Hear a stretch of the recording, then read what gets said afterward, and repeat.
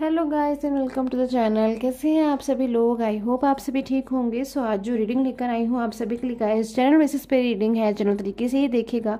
आपके पर्सन के लिए क्या कुछ फीलिंग्स आ रही हैं? आपके पर्सन की कुछ फीलिंग्स आ रही हैं इस टाइम पर इस वक्त में? क्या कुछ फील कर रहे हैं वो आपको लेकर?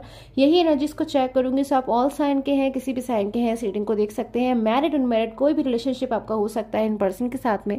सो so, इनकी फीलिंग्स आपको लेकर राइट नाउ क्या कुछ महसूस कर रहे हैं, क्या कुछ इनके मन में चल रहा है आपको लेकर? Okay so page of swords की एनर्जीज मेरे पास में। Nine of pentacles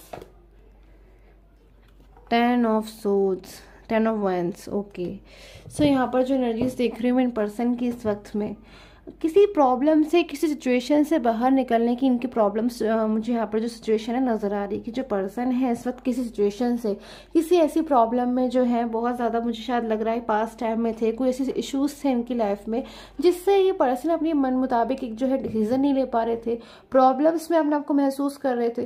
तो इन सिचुएशन से मैं यहाँ पर देख रही हूँ कि पर्सन जो है बाहर निकलते हुए आ रहे हैं। कोई ऐसी सिचुएशन जिसमें ये पर्सन जो है बहुत ज़्यादा अपने ऊपर एक कंट्रोल महसूस कर रहे थे, अपने ऊपर बर्डन महसूस कर रहे थे और बट अब क्या हो रहा है चीज़ें कि अब इन पर्सन ने उस सिचुएशन को जो है कंट्रोल करना में शुरू कर दिया कि सिचुएशन जो है आ, इनकी लाइफ में इश्यूज़ को ना लेकर आए प्रॉब्लम्स को ना लेकर आए सैडनेस को ना लेकर आए। सो कोई ऐसी सिचुएशन मुझे इन पर्सन के साथ में जो है बनती हुई नज़र आ रही है। टेन ऑफ़ सोट्स की भी एनर्जीज है। Okay so ten of wands की एनर्जीज है नाइट ऑफ़ सोट्स मुझे ऐसा यहाँ पर ऐसी एनर्जीज मिल रही है कि जो पर्सन है अपनी लाइफ में एक चेंज को चाहते हैं। ये पर्सन अपनी लाइफ में एक चेंज लेकर आ रहे हैं।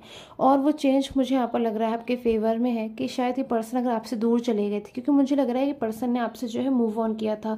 मूव ऑन होने की एनर्जीज मुझे यहाँ पर बहुत ज़्यादा मिल रही हैं कि शायद इन पर्सन ने जो है आपसे मूव ऑन कर लिया था, आपसे दूर चले गए थे। सेपरेशन एनर्जीज मुझे यहाँ पर नज़र आ रही है कि आप लोग के बीच में आ गई थी।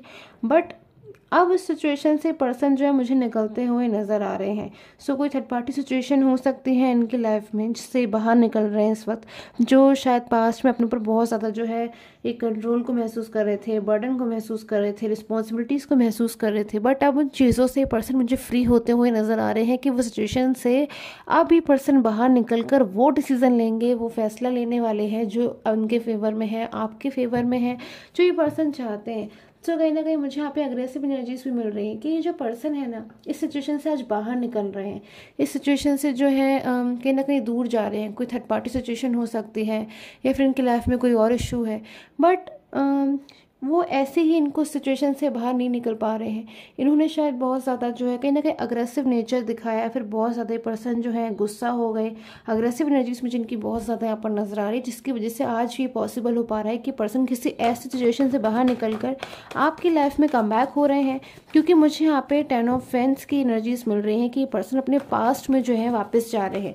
पास्ट को बहुत ज़्यादा मिस करना पास्ट के बारे में सोचकर इमोशनल होना, रोना, याद करना। सो ऐसी सिचुएशन मुझे इन पर्सन की नज़र आ रही है क्योंकि ये पर्सन इस वक्त बहुत ज़्यादा मुझे लग रहा है उदास हो गए हैं। बहुत ज़्यादा करंटली सिचुएशन पर्सन की जो आ रही है, उदास होकर बैठने वाली आ गई है कि बहुत ज़्यादा इस वक्त ये पर्सन उदास हो रहे हैं, दुखी हो रहे हैं, परेशान हो रहे हैं इमोशनल हो रहे हैं और वापस जा रहे हैं अपने पास्ट में। वो पास्ट जो शायद इनको बहुत ज़्यादा अच्छा लगता है, जब वो वो पास्ट जिसमें बहुत ज़्यादा इनको शायद शांति मिलती थी, एक हैप्पीनेस मिलती थी। तो यहाँ पर ऐसी एनर्जीज मुझे इनकी नज़र आ रही है। किसी बात को लेकर उदास भी मुझे पर्सन नज़र आ रहे हैं। सो टेन ऑफ़ वेंस की एनर्जीज़ को क्लैरिफाई करूँगी मैं। ओके द मून मून की एनर्जीज़ अगेन ये कार्ड मुझे मून की एनर्जीज बता रहा है कि इनकी लाइफ में शायद बहुत ज़्यादा प्रॉब्लम्स से उन्होंने डील किया है। अगर आप लोग के बीच में कोई नो कांटेक्ट जोन था, कोई नो कांटेक्ट सिचुएशन थी, और आप इन पर्सन से कांटेक्ट नहीं कर पा रहे थे, इनकी सच्ची भावनाओं को नहीं जान पा रहे थे तो मैं यहाँ पर देख पा रही हूँ कि इन पर्सन ने शायद बहुत ज़्यादा कहीं ना कहीं स्ट्रगलिंग एनर्जीज को देखा है। पिछले बीते कुछ टाइम में चैलेंजिंग एनर्जीज को अपनी लाइफ में जो है फील किया है। सैडनेस बहुत ज़्यादा इनकी लाइफ में मुझे नज़र आ रही है कि बहुत ज़्यादा कुछ चीज़ों से ना ये पर्सन बाहर निकलने की बार बार कोशिश कर रहे थे बट बार बार कहीं ना कहीं जो है सक्सेस नहीं मिल रही थी। बट अब फाइनली जाकर ये पर्सन ने एक ऐसा डिसीज़न लिया है या फिर इस सिचुएशन से जो है पर्सन अब बाहर निकलते हुए नज़र आ रहे हैं। बिकॉज़ सबसे पहले मेरे पास में पेज ऑफ़ सोर्स की एनर्जीज है। बाहर तो निकल रहे हैं पर्सन सिचुएशन से बट बहुत ज़्यादा पास्ट की ऐसी कोई मेमोरी है जो बहुत ज़्यादा इनको जिसके बारे में सोचकर ये पर्सन दुखी होते हैं। परेशान होते हैं। आपके और इनके बीच का जो नो कांटेक्ट है, उसको लेकर भी इन पर्सन के माइंड में मुझे टेंशन नज़र आ रही है या फिर बहुत ज़्यादा ही पर्सन जो है स्ट्रेस लेते हैं, इस नो कांटेक्ट के चलते। So the moon eight of cups from minor arcana से। Four of cups queen of cups okay so two of cups so यहाँ पर मैं इनकी फीलिंग को देख पा रही हूँ गाइज़ बिल्कुल इनकी फीलिंग्स ना आपको लेकर लवली एनर्जीज आ रही है। पास्ट में ऐसा हो सकता है कि आप लोग के बीच में कोई मिसअंडरस्टैंडिंग हो गई हो, कुछ ऐसी प्रॉब्लम्स हो गई हो, जिससे पर्सन आपसे दूर तो चले गए थे बट शायद ये अपने पास्ट को भूल नहीं पा रहे हैं। तभी तो ये पर्सन आज फिर से मैं देख रही हूँ, उठ खड़े हुए हैं, इतने ज़्यादा उदास होने के बाद भी, परेशान होने के बाद भी। कहीं ना कहीं उठ खड़े हुए हैं ये पर्सन अपने पास्ट के उस रिलेशन के लिए, क्योंकि कुछ ना कुछ इन्होंने ऐसा महसूस किया है अपने पास्ट में, जिससे इनको बहुत ज़्यादा कहीं ना कहीं पास्ट के बारे में जब भी पर्सन सोचते हैं तो उनका अपनापन महसूस होता है। या फिर अपने पास्ट के पर्सन की बहुत याद आती है पास्ट के दिनों की बहुत याद आती है पास्ट के दिनों को बहुत महसूस करते हैं, याद करते हैं और यहाँ पे मुझे लग रहा है कि बहुत ज़्यादा आपके पर्सन जो है इस वक्त आप में से कुछ लोगों के पर्सन स्पिरिचुअलिटी की तरफ़ बहुत ज़्यादा जो है ध्यान दे रहे हैं बहुत ज़्यादा प्रे कर रहे हैं डिवाइन से हेल्प मांग रहे हैं। कहीं ना कहीं गॉड से जो है यूनिवर्स से जो है प्रे लेते हुए मुझे लग रहा है यहाँ पर नज़र प्रे करते हुए नज़र आ रहे हैं हेल्प चाहते हैं। सो so, कहीं ना कहीं इमेजिनरी मुझे यहाँ पे कंडीशन में नज़र आ रही है कि आपके आप में से कुछ लोगों के पर्सन अपने फ्यूचर को लेकर बहुत ज़्यादा चिंता में हो रहे हैं इस वक्त में। या फिर आपकी लाइफ में कम होना कहीं ना कहीं शायद उनका डिसीज़न इसीलिए है क्योंकि वो अपनी लाइफ में फ्यूचर जो है आपके साथ में चाहते हैं और बहुत ज़्यादा अपने फ्यूचर के बारे में सोच रहे हैं। एंड एट ऑफ़ कप्स की एनर्जीज भी है। किसी ऐसी सिचुएशन से पर्सन मुझे बार बार यहाँ पर एनर्जीज मिल रही हैं। दूर जाते हुए नज़र आ रहे हैं। एक अलग ही आ, अपनी लाइफ में जो है एक न्यू बिगनिंग को कर रहे हैं। सो न्यू बिगनिंग में इनके साथ में मुझे आप भी नज़र आ रहे हो। कोई ऐसी न्यू बिगनिंग अपनी लाइफ में पर्सन आप कर रहे हैं जिसमें आप दोनों का साथ मुझे नज़र आ रहा है। इनकी लाइफ से कोई थर्ड पार्टी सिचुएशन है। तो वो चीज़ें इनके सामने खुलकर सामने आई हैं। इनके सामने कहीं ना कहीं चीज़ें जो हैं बिल्कुल क्लैरिफाई हो गई हैं जिन चीज़ों में शायद इनको डाउट था या फिर किसी ऐसे पर्सन पे बहुत ज़्यादा इन्होंने ट्रस्ट किया था जिन पर आज जिनको लगता है कि मुझे ट्रस्ट नहीं करना चाहिए था मेरी गलती थी मेरी भूल थी इस पर्सन के ऊपर ट्रस्ट करना। सो so, इनकी लाइफ में मुझे लग रहा है शायद बहुत ज़्यादा इन पर्सन ने प्रॉब्लम से डील किया है बट उन चीज़ों से। अब मुझे यहाँ पर जब first energies and last energies आ रही है गैस मैं उसको देख लेती हूँ।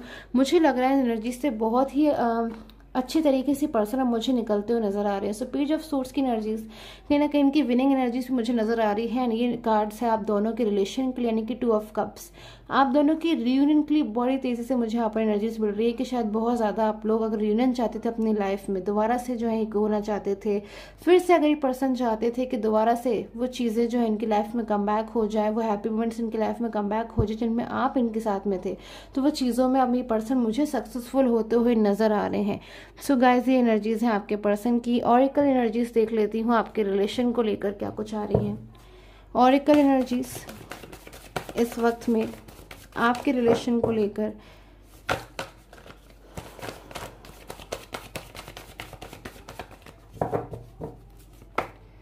so inner child